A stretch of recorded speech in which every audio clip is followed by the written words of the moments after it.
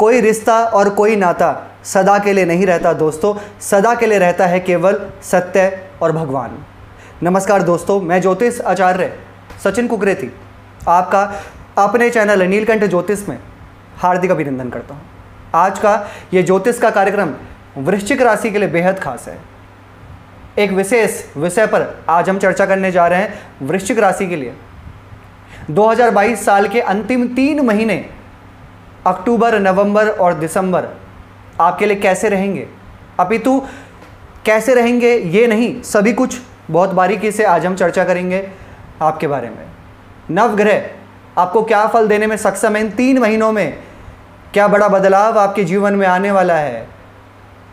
शनि और देवगुरु बृहस्पति वक्री से मार्गी हो रहे हैं। तेईस अक्टूबर को शनिदेव और 24 नवंबर को देवगुरु बृहस्पति मार्गी हो जाएँगे। तो क्या आपको फल मिलने वाले हैं वृश्चिक राशि को? ये साल जाते जाते आपको क्या फल देगा? इसी विषय पर आज हम चर्चा करेंगे और सभी कुछ जानेंगे। आपका शिक्षा, आपका प्रेम प्यार, वैवाहिक जीवन, करियर, भाग्य फाइनेंशियल बिज़नेस कैसा रहेगा? नेगेटिव पॉजिटिव क्या सावधानी रखनी है? क्या उपाय आपको करने हैं? चलिए, बिना टाइम वेस्ट किए करते हैं शुरुआत। ये जो कार्यक्रम है दोस्तों, आपकी जन्म की राशि, आपकी चंद राशि पर आधारित है।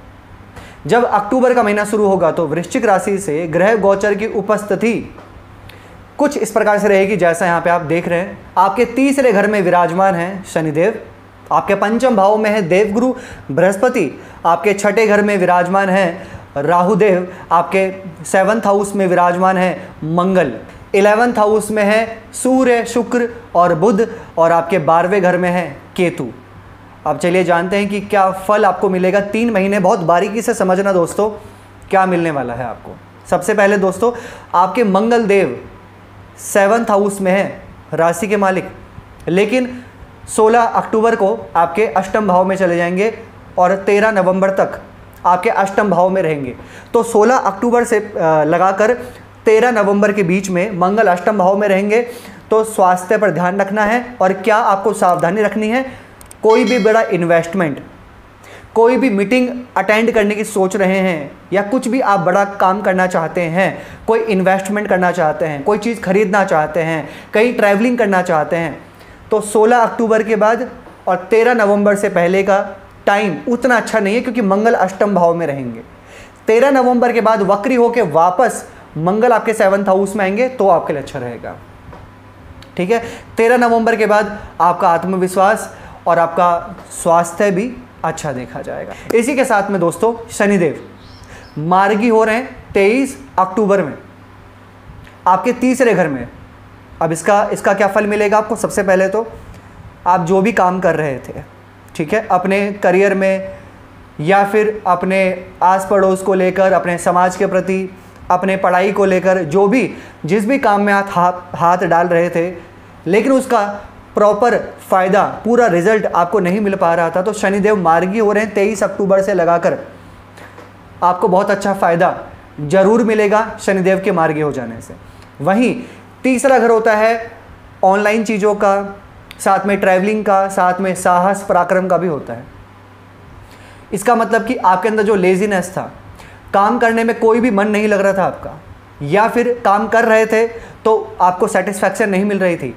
शनि मार्गी हो रहे हैं। सेटिस्फैक्शन भी मिलेगा, काम करने में मन भी लगेगा, साहस, उत्साह और स्टेमिना आपके अंदर बहुत अच्छा देखा जाएगा। इसी के साथ, बुध ग्रह और शुक्र ग्रह, कहाँ पर गोचर करेंगे? आपके तुला राशि में ट्रांजिट करेंगे, शुक्र करेंगे 18 अक्टूबर को और बुध करेंगे 26 अक्टूबर को आपके बारहवें घर में। जब बारहवें घर में शुक्र चले जाएँगे ना तो सबसे पहले तो आपके थोड़े खर्चे तो रहेंगे, लेकिन आपकी जो ज़रूरत है, आपके जो डिज़ायर्स है, वो भी पूरे होंगे। ठीक है ना? फॉरेन से कनेक्शन आपका बन सकता है मल्टीनेशनल कंपनी ज्वाइन कर सकते हैं, कोई बहुत बड़ी यात्राएँ आपकी देखी जा सकती हैं, धार्मिक यात्रा आपकी देखी जा सकती है, आपका लव रिलेशन बहुत शानदार देखा जाएगा जब शुक्र बारहवें घर में ट्रांजिट करेंगे। 18 अक्टूबर से लगाकर पूरे नवंबर के महीने में आपका लव रिलेशन और आपके तालमेल बहुत अच्छे रहेंगे। घूमने फिरने का योग बहुत अच्छा है, दूर जाने का योग बहुत अच्छा है और जैसे मैंने कहा कि लग्जरी चीज़ों पे, अपने आप की चीज़ों पर खर्चे थोड़े ज़्यादा बढ़ते हुए देखे जाएँगे। और इसके साथ में 11 नवंबर को फिर शुक्रदेव आपके फ़र्स्ट हाउस में आएँगे और 13 नवंबर को बुध ग्रह आपके फ़र्स्ट हाउस में आएँगे, वृश्चिक राशि में। जब शुक्र और बुध आपके फ़र्स्ट हाउस में ट्रांजिट करेंगे ना दोस्तों तो सबसे पहले आपके अंदर इंटेलिजेंसी बहुत अच्छी देखी जाएगी, लेकिन कभी कभी ओवर कॉन्फिडेंट थोड़ा सा आपको नीचे गिरा सकता है। और अपनी बातों को सही समझना, नवंबर के महीने में सिर्फ़ अपने आप को ही सही समझना और अपने ज्ञान को ही सर्वोत्तम समझना थोड़ा सा आपको डाउन कर सकता है। ये विशेष आपको ध्यान देना होगा, क्योंकि सूर्य भी आपके फ़र्स्ट हाउस में रहेंगे 16 नवंबर से लेकर 16 दिसंबर तक और अग्रेसन भी रहेगा इस बीच में। एक महीना ऐसा होता है, एक साल में। थोड़ा जब अग्रेसन थोड़ा ज़्यादा देखा जाता है 16 नवंबर से 16 दिसंबर, जब चंद्रमा के ऊपर सूर्य रहते हैं और डिसीज़न पावर थोड़ी कमज़ोर हो जाती है उस टाइम पे। आप कुछ भी बड़ा लेना चाहते हैं, कुछ भी खरीदना चाहते हैं तो बहुत ज़्यादा सोचेंगे। वृश्चिक राशि वाले तो वैसे ही बहुत ज़्यादा सोचते हैं, क्योंकि आपका चंद्रमा नीच का होता है। इमोशनल ज़्यादा हो जाते हैं कभी कभी सेंटिमेंटल ज़्यादा हो जाते हैं छोटी छोटी बातों पर पॉजिटिव भी हो जाते हैं सीरियस भी ज़्यादा हो जाते हैं। क्योंकि चंद्रमा आपके नीच के होते हैं, वृश्चिक राशि के। तो ये लोग ज़रूरत से ज़्यादा सोचने लग जाते हैं, अकेले में बातें करना, अकेले में रहना, अकेले में ही सब कुछ करना ज़्यादा पसंद करते हैं ये लोग। और 24 नवंबर को देवगुरु बृहस्पति मार्गी हो जाएँगे आपके पंचम भाव में फिफ्थ हाउस में। और जब देवगुरु मार्गी हो जाएँगे ना तो सबसे बड़ी बात पढ़ाई, पंचम भाव होता है पढ़ाई का। पंचम भाव होता है लव रिलेशन का, पंचम भाव होता है संतान का। तो जब देवगुरु मार्गी हो जाएँगे पंचम भाव में तो आपकी पढ़ाई बहुत अच्छी देखी जाएगी। मेरे बोलने पर मत जाइए। स्वयं देखिए। पंचम भाव पढ़ाई का, पंचम भाव में देवगुरु बृहस्पति, देवगुरु ज्ञान के कारक हैं। बुद्धिमत्ता आपकी अच्छी हो जाएगी, आपका टैलेंट अच्छा हो जाएगा, इंटेलिजेंसी बहुत अच्छी हो जाएगी तो आपको रिजल्ट्स अच्छे मिलेंगे। पढ़ाई पे फोकस अच्छा रहेगा। हायर एजुकेशन करना चाहते हैं, बहुत अच्छा रहेगा। कोई सोच रहे हैं आगे बढ़ने की एडमिशन लेने की, सोचिए मत ना, कर डालिए।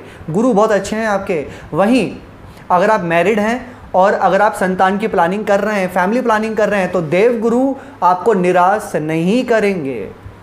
24 नवंबर के बाद 24 नवंबर से लेकर अप्रैल 2023 तक ये भी बता देता हूँ आपको। संतान के योग बहुत ही अच्छे हैं आपकी राशि के अनुसार। और इसके साथ में राहु देव, तीनों महीने, अक्टूबर, नवंबर और दिसंबर आपके छठे घर में ही रहेंगे। हिलेंगे नहीं वहाँ से। और छठे घर में राहु देव अच्छे माने जाते हैं क्योंकि कहा जाता है कि छठे घर में त्रिसडाय भाव में राहु अच्छा फल देते हैं। यानी कि ऋण, रोग, शत्रु से ज़रूर आपको छुटकारा दिलवाएँगे। अगर कोई ऋण आपको परेशान कर रहा था तो ज़रूर आपको वहाँ से बाहर निकालेंगे, खासकर जब शनि मार्गी हो जाएँगे और गुरु भी मार्गी हो जाएँगे। और इसके साथ में पॉलिटिक्स जो आपके साथ में चल रही थी तो ज़रूर आपको वो चीज़ें पता लगेंगी कि कौन पॉलिटिक्स कर रहा है, कैसे कर रहा है तो वहाँ से भी आप ज़रूर बाहर निकलेंगे। ये आपके लिए बहुत अच्छा है। केतु आपके बारहवें घर में है। जब केतु बारहवें घर में होते हैं तो स्पिरिचुअल आध्यात्मिकता में रुचि बढ़ने लग जाती है, या फिर धार्मिक यात्रा इंसान ज़रूर करता है। तो तीन महीने में हो सकता है आपके साथ में। ये बताया दोस्तों मैंने सभी कुछ आपको कि तीन महीने में क्या होगा, क्या सावधानी रखनी है क्या क्या होने वाला है। क्या उपाय करने चाहिए? वृश्चिक राशि को। सबसे पहले तो वृश्चिक राशि के मालिक बनते हैं मंगल देव तो हनुमान चालीसा का पाठ ज़रूर करें। आपकी राशि के मालिक मंगल हैं। रोज़ाना करें। उसके साथ में चंद्रमा नीच के हैं तो चंद्रमा का बीज मंत्र अवश्य करें। जिससे आपको ओवर थिंकिंग ना हो एंग्जाइटी ना हो टेंशन ना हो और सेटिस्फैक्शन रहे। चंद्रमा का बीज मंत्र है। ओम श्राम श्रीम श्रोम सा चंद्रमा से नमः। 108 बार रोज़ाना सूर्यास्त होने के बाद। और तीसरा, जितना महादेव की पूजा करेंगे, ओम नमः शिवाय का जाप करेंगे, उतना ही आप आगे बढ़ते हुए चले जाएँगे और आपके संकट परेशानियाँ दूर होंगी। कैसे लगी आपको वीडियो? लाइक कीजिएगा शेयर कीजिएगा, बने रहेगा हमारे साथ में। धन्यवाद।